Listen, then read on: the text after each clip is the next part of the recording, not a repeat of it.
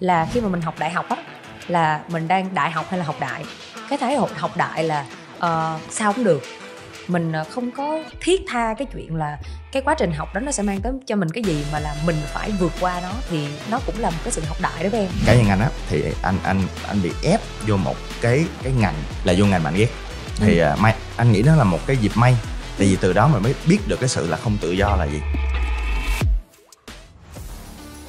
ta nói trường đời người ta nghĩ là trường đời khác trường học nhưng mà thật ra trường trường đời nó bao trùm ừ. cái trường học tức là cuộc đời của mình mình sống mình học mình ăn mình ngủ mình thì mình làm gì ừ. thì nó nó ừ. cũng là cuộc đời của mình thôi và cuộc đời của mình á anh tin là con người á ai cũng muốn mưu cầu cái sự hạnh phúc đúng là như anh nói là em ừ. cảm thấy là cái hai năm cuối cùng đại học của em á có những cái khoảng em cảm thấy em không còn là chính mình nữa anh thì không có thói quen hối hận với những gì mình đã làm ừ. một trong những lý do mà khiến cho trầm cảm á là mình sống quá sâu ở trong quá khứ mà mình hối hận về những điều điều mình không thể thay đổi được ừ.